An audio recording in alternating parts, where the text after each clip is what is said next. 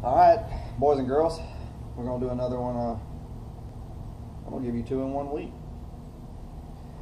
All right, so the last uh, last review we did, we did this little guy right here, which is the uh, Rayburn Chris McCall swim jig, Santone lures. I always throw my Santone Santone swim jig on my Powell rods. Uh, this one right here is a 775 CEF, which is a seven foot seven five power rod. you know I'm sponsored by Powell Rods. May or may not be after this review, but like I told you before, I'm not going to lie to you.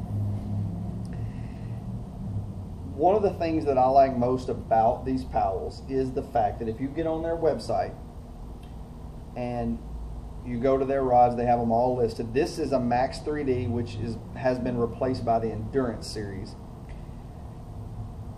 one of my favorite things is that when, when you read that description on that rod, it's going to tell you, for instance, this one is flipping, punching, big jigs, and swimmers. If you read that description on there and it tells you a Carolina rig rod, it's going to make a very good Carolina rig. If it tells you it's a frog rod, it's a very good frog rod.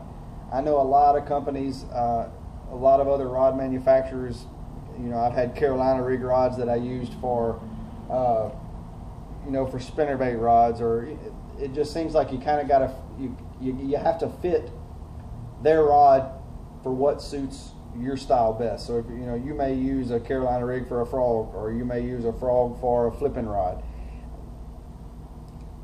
With these Powells, whatever it tells you on their website is what it's going to be.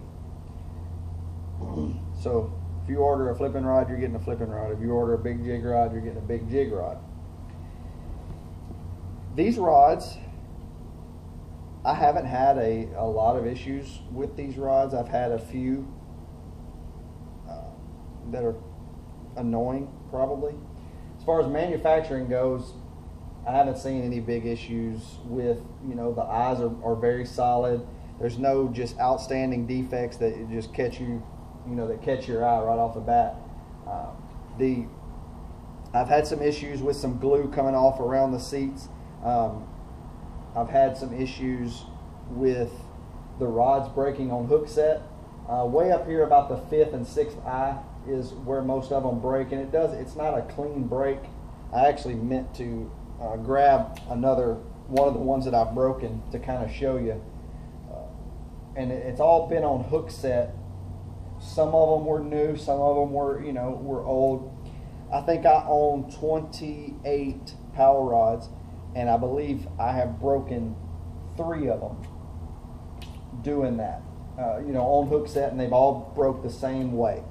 I mean, I broke a whole lot more than that because I don't pay much attention. I slam them in rod lockers and step on them, or I may or may have, may or may not have gotten mad a few times and broke some on purpose. That's neither here nor there. Another thing that I've that uh, is a pretty common problem on the ones uh, that I have. This is on about I'd say at least half of the rods that I own, these two, I don't know what they are. I'm a fisherman, not a rod builder. Um, like I said, I fish and mediocre fisherman at that. Nonetheless, whatever these, I'm going to call them seats for, for now. I don't know. These, uh, these, it's just where the rod, it, it, I think it's just more for looks. Uh, to kind of make it a, a more smooth transition. You can see that you know this is loose in here. Functionality, I haven't noticed a difference.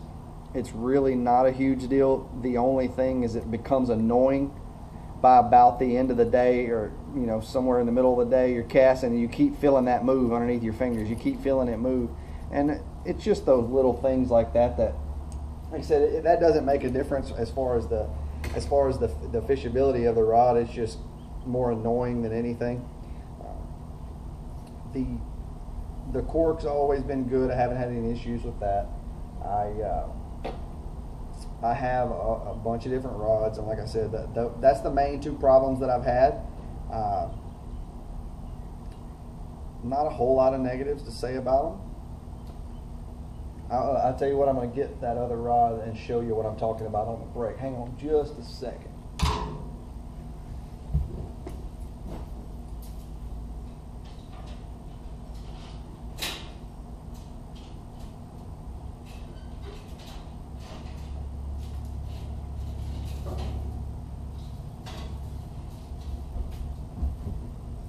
All right, sorry about that. So this is one of the ones that I broke. This is a 6104 crankbait rod or jerkbait and crankbait rod. Um, I was fishing a jerkbait with this. This one still was still fairly new. You could tell the, the cork's not even all that stained. Anyhow, and this one broke on hook set. And if you look at it, you can't even tell it's broke. Like I said, it's not a clean break, but it it just kind of shatters in the middle of that rod. Like I said, I don't know how good you can see that, but it just, it just is, I don't even know how to explain that break. I mean, a lot of rods I broke, and you know, it's a clean break, and the, the end of the rod goes down the line. But, and I've experienced this, like I said, on on several rods, uh, and all on hook set. So, if you want to get on Powell's website, go look at them you're going to get what you order. If you order a crankbait rod, you're going to get a crankbait rod. Uh, their 806 flipping rod is a really, really good flipping rod. I haven't had any issues with those other than slamming them in rod lockers or getting them caught on a tree at Falcon. So uh, that's about all I got to say about those. So you guys need to uh, comment. Let me know what you want me to review. Let me know uh, whose feelings, you know, whose feelings I may either make happy or may make mad, but I'm here to do it right, and I want to make sure that uh, that my reviews are, are honest and true, and I hope you guys enjoy it. So, y'all stick around.